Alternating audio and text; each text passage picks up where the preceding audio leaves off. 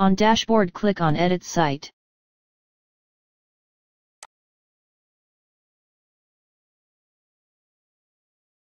Hover over the Dev Mode and click on Dev Mode button in box.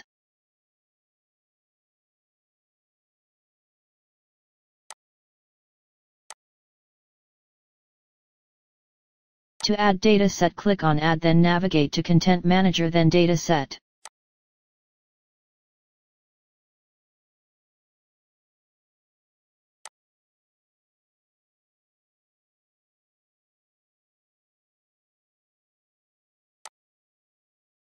Select the data set whose data you want to get. I am selecting posts.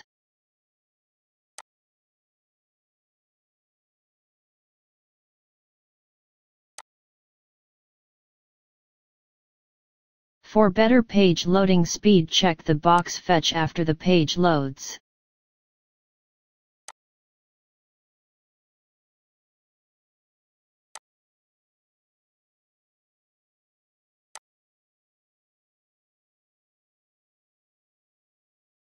This ID should be same as data set ID in my case it is data set 1.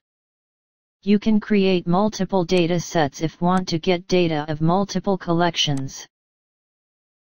Data is showing here in console. Link of more available functions is in description.